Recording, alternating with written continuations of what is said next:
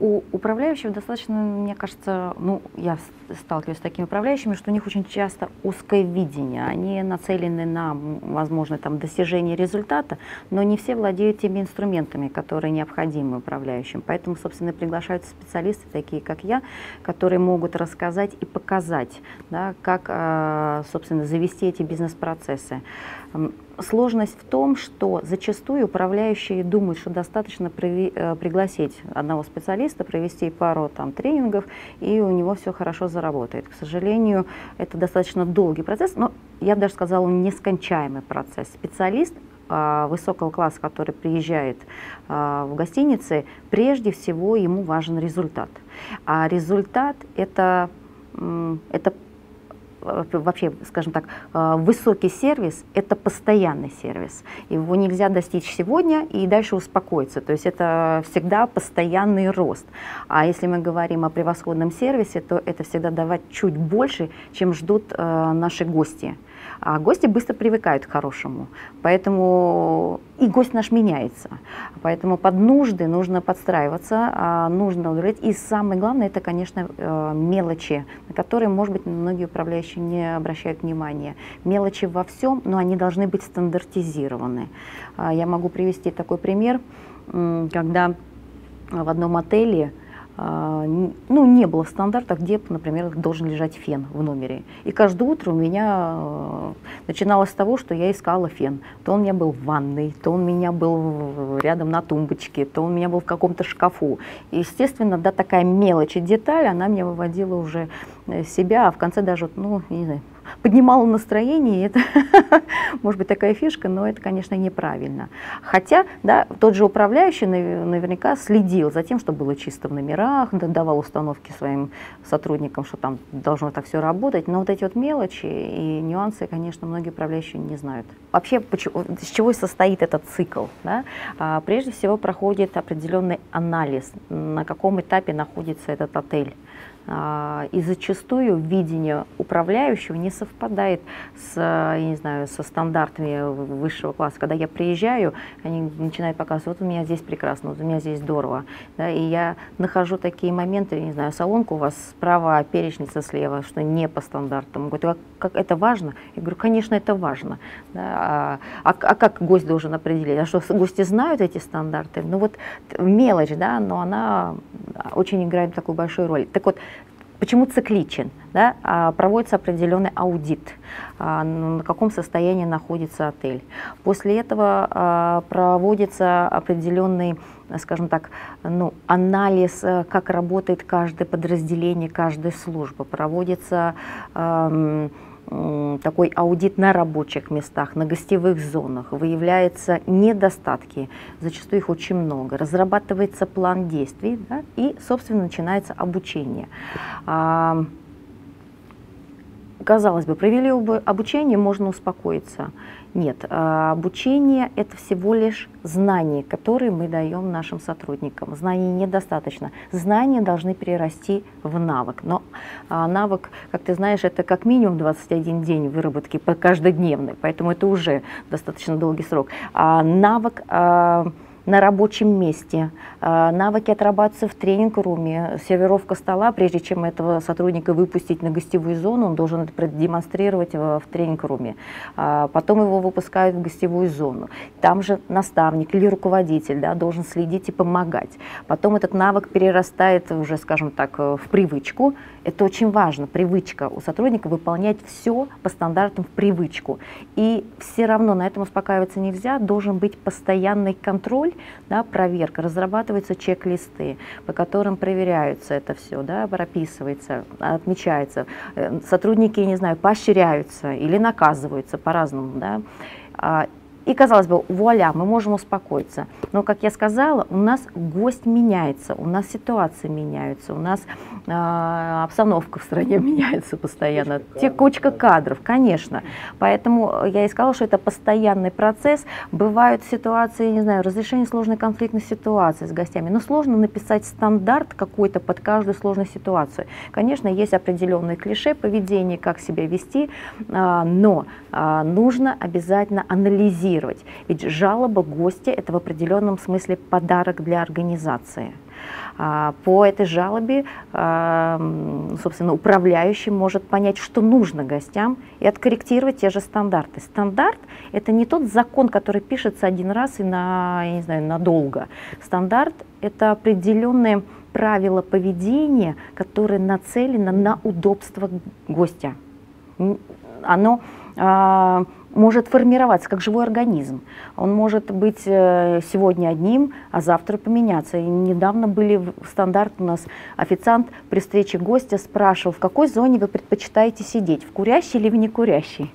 Да, на сегодняшний день этот стандарт уже вымер, поэтому заменяют его на другие стандарты. Сейчас э, очень, э, скажем так, вводятся стандарты, что официант должен, например, предложить зарядку для телефона. Ну, раньше когда этого не было. Время идет, оно все меняется, поэтому да. Ну и, конечно, текучка, ты совершенно правильно сказал. Э, и линейный персонал, как правило, да, меняется чаще.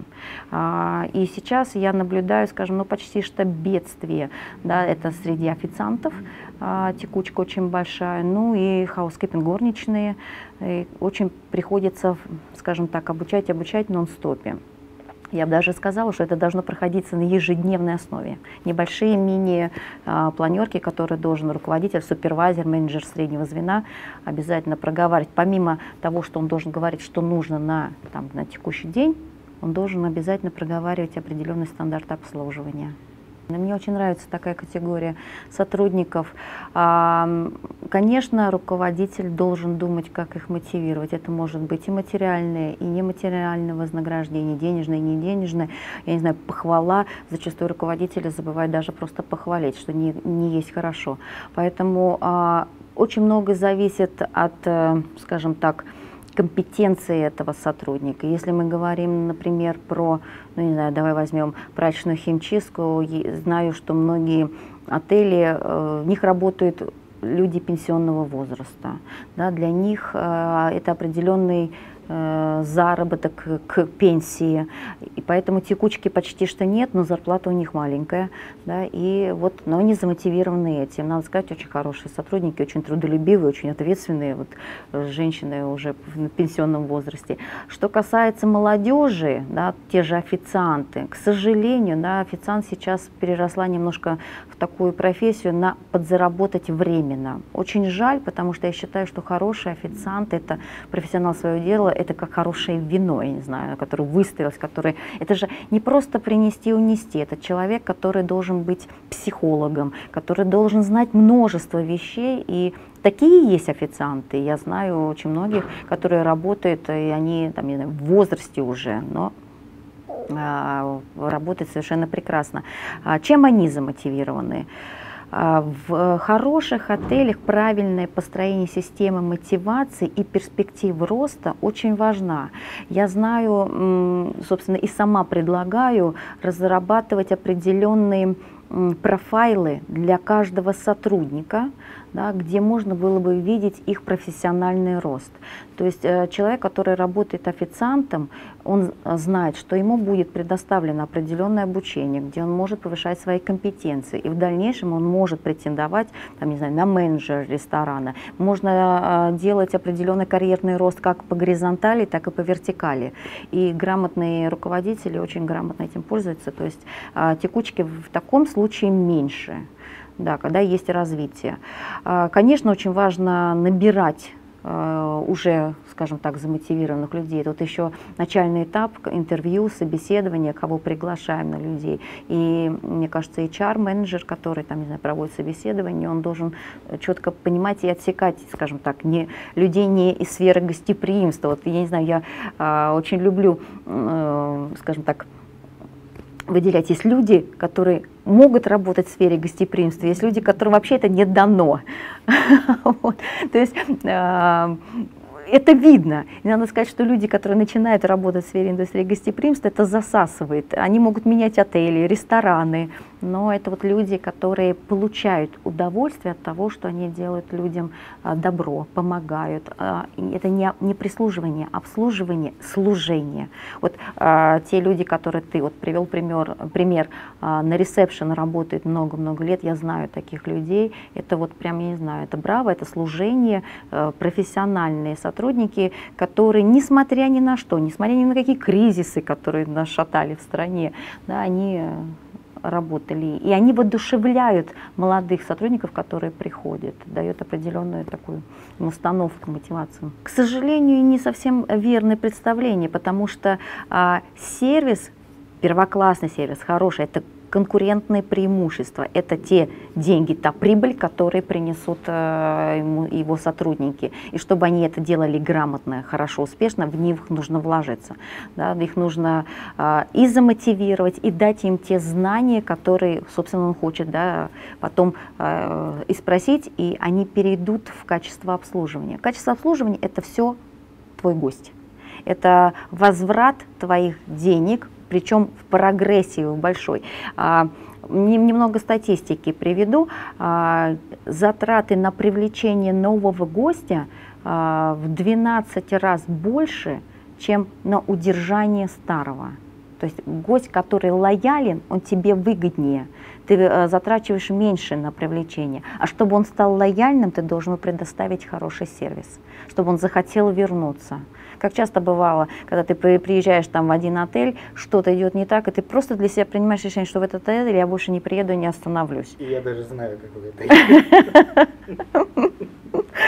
Все, то есть э, сколько собственник, я не знаю, да, управляющий теряет. Это сложно подсчитать в принципе. Да? Это человек, которому не понравилось, он не приедет. Ну и, и ладно, не приедет, казалось бы. Да, он же ведь еще напишет отзыв в интернете, он расскажет своим друзьям, знакомым. И каким бы глянец бы не был бы там в СМИ, когда мы выбираем отель, мы прежде всего ориентируемся на отзывы наших гостей, там, на, на отзывы, а, опять-таки, там, TripAdvisor и так далее. И, собственно, там очень сложно подсчитать потери из одного недовольного гостя. Поэтому вложить в сотрудника, который будет предоставлять первосходный сервис, это, конечно, дорогого стоит. Это все вернется в сто крат. В целом мне состояние, конечно, не очень нравится. Есть единичные отели, которым браво, э, и э, управляющие заботятся о сотрудниках, об обучении. Э, но в целом картина плачевна. На мой взгляд, что это все идет очень, скажем так, ну, безграмотно, что ли, кто как это все видит. От чего зависит? Менталитет очень большое играет влияние на обслуживание. И этому тоже нужно обучать сотрудников, ставить определенные установки, не знаю, тренинги проводить.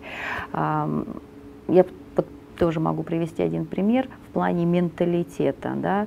А, в одном отеле я останавливалась и, а, скажем так, оставила чашку кофе да, на, э, на тумбочке в ванной комнате, спешила очень и убежала. А вечером возвращаюсь в отель да, и вижу, что у меня стоят новые две чашки, вымытые, но эта чашка с остатками кофе также продолжает стоять у меня в ванной. Да. Я, собственно, поинтересовалась, а почему ее не убрали, почему, то есть явно, что не, не забыли, поставили мне две чашки. Да, на что мне руководитель службы сказал, ну мы побоялись выкинуть, вдруг это, не знаю, вы будете использовать в качестве скраба.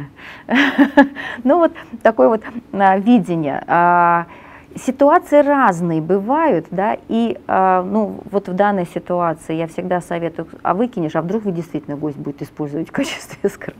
Как себе вести сотруднику? Э, сотрудники боятся коммуникации с гостями. А коммуникация в обслуживании, я считаю, это стоит на первом месте. Потому что эти сотрудники, которые мы, скажем, такая дешевая рабочая сила, да, мы не заботимся уже там, о том, что наши горничные должны знать там, два иностранных языка. Были такие времена. Да. Сейчас это действительно дешевая рабочая сила, которые плохо говорят по-русски, и тогда а, собственнику или там, управляющему ничего не остается, как просто дать простое да, а, указание, не общаться и от греха подальше. А, Ну, реалии современного мира, да, сказать, что, ребят, давайте мы будем наших э, горничных обучать английскому, хотя многие отели пятизвездные, там, естественно, четыре звезды, они обучают э, горничных английскому языку, и я провожу такие занятия тоже. Есть спрос, отсюда и рост э, всевозможнейших тренеров. Какой совет дать управляющим? Действительно, тренеров на сегодняшний день очень много. Мой, скажем, такой личный совет всегда смотрите на то, где эти тренера работали, потому что очень важно это иметь практику. Очень много тренеров, которые закончили тренерские курсы, но никогда не работали в отеле, никогда не стояли за стойкой, не подносили тарелки, я не знаю, не, не работали на передовой, да, а но знают те, теорию да, и продают себя как э, профессиональные тренера, но, собственно, они не поправят дело, они не смогут э, наладить бизнес-процессы. Нужно смотреть, конечно, на биографию этого тренера, сколько у него практических часов работы, э, обязательно, это очень важно, ну и на отзывы, конечно, на его результаты. То есть просто сказать, что я там хороший тренер. Нет, посмотрите на результаты. Я сделал там в таком-то отеле, построил бизнес-процесс, я а, такие-то результаты из такого отеля. То есть это уже, скажем так, обезопасит а, управляющих да, от а, серьезных вложений денег. Это сейчас не дешево. Сейчас а, профессиональные тренера берут достаточно много, и поэтому, если уж ты хочешь вложиться, то надо получать ну, совершенно таком на высшем уровне. Личность самого тренера тоже очень важна. А, я знаю множество профессиональных людей, которые и работали да, много лет э, в отелях, но они не могут донести до аудитории, не могут замотивировать. А ведь каждый тренинг – это определенное воодушевление. Это не просто передача знаний каких-то, да, это нужно воодушевить не знаю, у меня после каждого тренинга всегда буря аплодисментов и желание там идти работать, да, и попробовать то, что мы отрабатываем на тренингах. То есть я вижу горящие глаза, я вижу э, какой-то вот этот посыл, что нужно вот это все бежать, скорее воплощать. Э, это нужно постоянно поддерживать. Почему я еще и говорю, что очень важна роль самого руководителя. Зачастую э, сотрудники приходят не с очень большим удовольствием на тренинги, потому что, ну, вроде как надо, руководитель сказал, но он грамотно не донес. А что ему даст этот э, тренинг? Зачем сотрудник туда приходит? Что он получит взамен? А ведь взамен получается, я не знаю, их а, и профессиональный рост в плане компетенций, где они потом смогут реализовать свои профессиональные компетенции, собственно, зарабатывать больше. Да? И, и в то же время это определенное сплочение, это определенный энтузиазм. Ну, это много всего, много зависит. Поэтому руководители еще грамотно должны доносить о, об обучении, что это нужно сотрудникам. Люди, которые уже достаточно профессиональны в своей профессии, им зачастую бывает уже этого недостаточно, они хотят расти дальше. И, собственно, дальше происходит вот это вот желание поделиться своими знаниями. Грамотно делиться, этому тоже нужно научиться. А, и происходит определенное еще дополнение как бы, профессиональных компетенций. Помимо, там, не знаю, знаний фронт-офиса служб, да, человек может а, пойти и получить определенные компетенции по тренингу тренеру. И если как бы он обучаем и есть желание, да, то он становится тренером причем очень хорошим и профессиональным. Но здесь очень важно подчеркнуть, что люди должны работать уже в этой сфере. Нельзя, мне кажется, при, э, ну, это будет не совсем профессиональный тренер, если он придет с улицы, э, скажет, слушайте, хочу быть тренер, да, научите меня. Нет, это должны быть люди профессиональные в своем деле, в гостиничном бизнесе, причем это может быть как и э, food and beverage служба, и housekeeping, и office, да, но люди, которые проработали определенное время в этой сфере, которые профессиональны своими непосредственными непосредственными знаниями, навыками, они получают дополнительные компетенции да, и, собственно, растут. Они получают за счет удовольствия от того, что они могут поделиться этими знаниями. Действительно, я вижу, что творится на рынке, да, что тренера не всегда являются профессиональными, так почему не обучить людей, которые хотят да, и, собственно, могут это все делать. Поэтому, да, а, есть желание обучить их и дать, э, поделиться своими знаниями. Ну и определенная, конечно, для них это возможность э, стать, э, не знаю, воплотить свою мечту в жизнь, стать тренерами и работать еще еще в этой сфере, это было бы для них, мне кажется, здорово. Формат обучения – это вечернее обучение, и оно будет длиться три часа по один раз в неделю. А, в этот формат обучения входят э, практические занятия, которые будут проходить в Swiss Отель, а, и они, э, обучение также входит э, вебинары. А, будет обязательно домашнее задание, обязательно будет э, задание в плане проведения самим тренингов, где я буду смотреть, да, я сначала буду делиться своими инструментами, а потом я буду уже смотреть, как они эти инструменты будут применять, собственно, будут даваться корректировки, установки, мы будем прописывать полностью да, этот тренинг, которым там они будут дальше уже владеть и смогут провести. То есть цель после э, такого обучения, оно будет длиться два с половиной месяца. А, цель такая, чтобы этот человек, который закончит этот курс, а, умел, уже имел в себе целый готовый тренинг, а, владел определенными инструментами проведения тренинга и, собственно, мог бы уже дальше его и продавать, и воплощать в свою жизнь.